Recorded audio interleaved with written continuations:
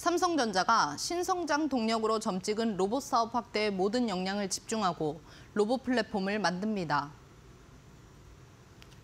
삼성전자 DX 부문장인 한종희 대표이사 부회장은 오늘 열린 삼성전자 비스포크 출시 행사에서 로봇은 또 하나의 새로운 성장 동력으로 이를 향해 한 걸음씩 나아가고 있다며 이같이 밝혔습니다.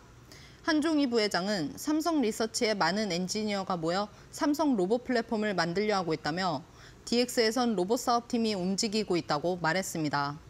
이어 로봇 사업팀은 올해 출시될 EX1을 준비하고 있다며 로봇으로 많은 부분이 대체되고 있으며 로봇 분야에는 우리가 가진 역량을 집중해 새로운 비즈니스를 찾고 제품을 선보일 계획이라고 덧붙였습니다. 앞서 이달 15일 삼성전자는 레인보우 로보틱스 지분율을 확대하고 콜옵션 계약을 맺으며 향후 인수 가능성을 열어놨습니다.